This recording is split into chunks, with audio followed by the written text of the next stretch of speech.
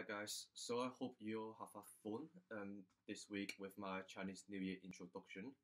Chinese culture is really vast and intricate, so what I've offered you is only a very, very generic view of it.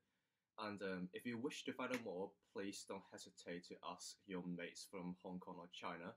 I'm pretty sure they will be more than happy to um, explain to you more about it.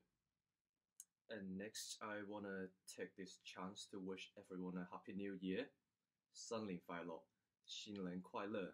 And uh, most importantly, this year, um, I wish everyone good health, Tai Gin Sun Ti Kan. And so, yeah, that's it from me for now. And uh, thank you, everyone, for the love and support. And um, that's it. See ya.